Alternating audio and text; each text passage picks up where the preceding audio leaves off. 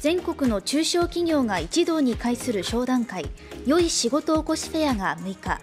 3年ぶりに通常の形で東京で始まりました。会場には全国253の信用金庫のネットワークを生かして集まったものづくりや食品、観光に関連した463の中小企業と団体が出展しています。お互いの仕事を紹介し新しい商品の開発や販路拡大を図ろうという狙いがあります。開会式には秋葉賢也復興大臣や東京都の小池百合子知事らが出席し47都道府県250地域の米をブレンドして醸造した日本酒絆米の鏡開きも行われました。このフェアは東京江東区の東京ビッグサイトで7日まで開かれています。